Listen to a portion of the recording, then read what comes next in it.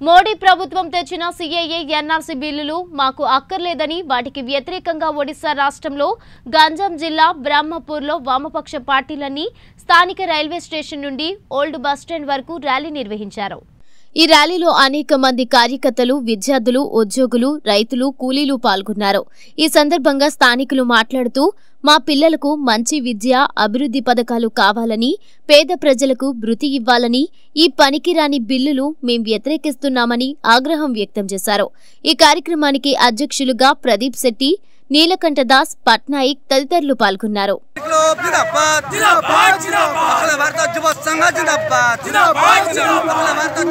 जिंदाबाद।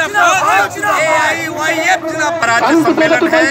यह सम्मेलन आज देश के अंदर में और राज्य के अंदर में नौजवानों के हितों पर जो हमला हो रहा है नौजवानों को उनके मुख्य मांग जो शिक्षा और रोज़गार का मांग है शांतिपूर्ण जीवन का मांग है उस जीवन से जो जाति और धर्म के नाम पर जो लोगों को फूट डाला जा रहा है और आपस में लड़ाया जा रहा है, उसके खिलाफ में यह नौजवानों का सम्मेलन है और ये नौजवान संघ का सम्मेलन राज्य और देश की सरकार से मांग करेगा कि हमें सीए नहीं चाहिए। हम छात्रों के लिए मैं बीटेक करके अभी घर में कोई जॉब नहीं है। जॉब जाऊँगा तो क्या? ना, ये जो ठीक व्यवस्था नहीं है जॉब तो नहीं है। दो कोटी रोज़गार मोदी जी ने बोले थे, लेकिन अभी तक नहीं दिए।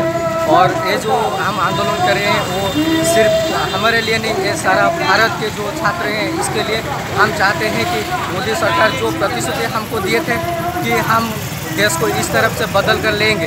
एनपीआर, ये हमको नहीं चाहिए, हमको रोज़गार चाहिए। हम एजुकेट स्टूडेंट हैं, फिर भी हम बेरोजगार हैं। अब हमको वो दिल्ली में जो दंगा हो रहा है, वो भी नहीं चाहिए। हमको शिक्षा चाहिए और सबको समान शिक्षा चाहिए और रोज़गार चाहिए।